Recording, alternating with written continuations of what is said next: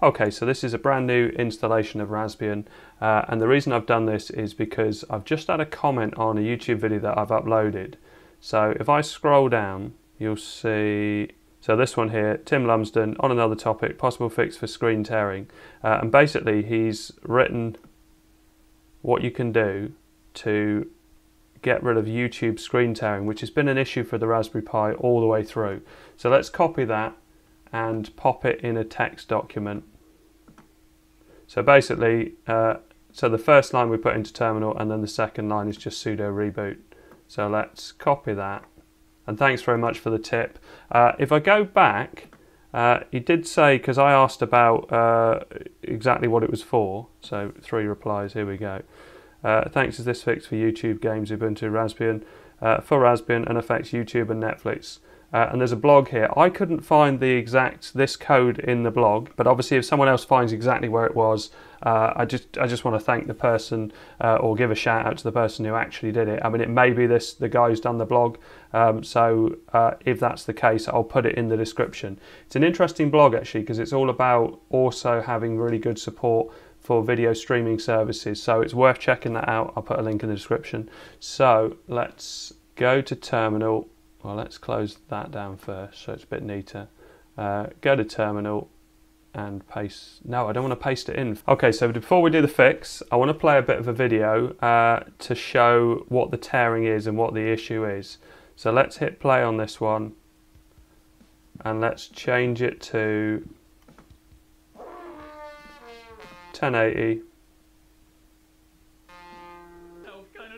and let's go full screen and let's try and find a part of the video where he's doing the bite. I guess it's going to be near the end, isn't it? Here we go. So let's try this. 6 minutes 36. And you can see the tearing all the time is popping up. See when he moves his head, when the camera angle moves, yeah, the tearing is, is definitely present there. I suppose I'll leave it playing for a bit. Showed it really well there at seven minutes. Now, because this thing's made of stainless steel, it's kind of like the DeLorean of bikes.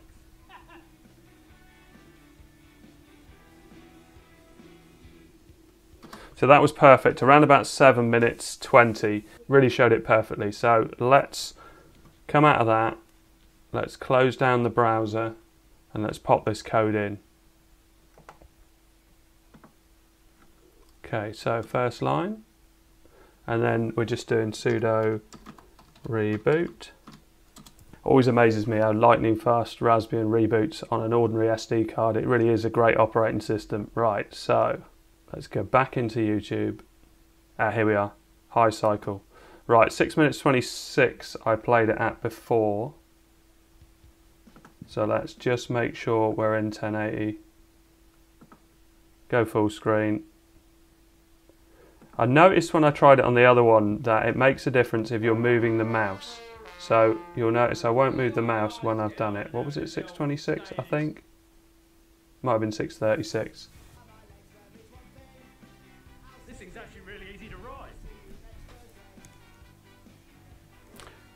The tearing's definitely gone.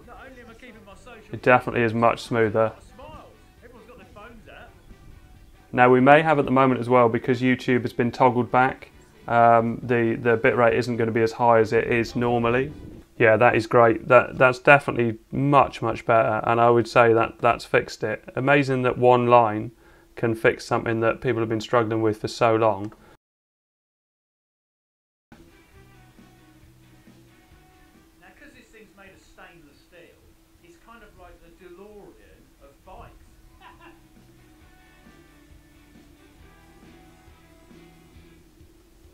Uh, let's just try uh, one year ago something with a lot of movement in.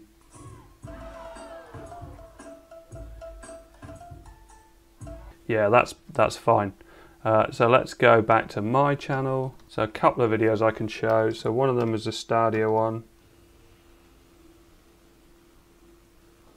That wasn't the best start, was it? Oh. I like it. Uh, oh, you've got to get back in time. Oh, I really like the feel of it. Yeah, that's great. And let's just try one more.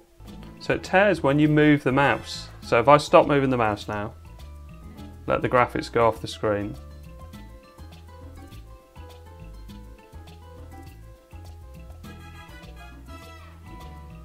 That's impressed me. Uh, one line has fixed YouTube in Raspbian, which has been a long time coming, um, but uh, but finally it's fixed. So thanks to whoever has done it. Uh, as I say, it's probably the one from this blog, but I'll put a link in the description, or I'll I'll say who it is, or if someone can say in the comments. But uh, and also thanks for the heads up, Tim Lumsdon. Please like and subscribe.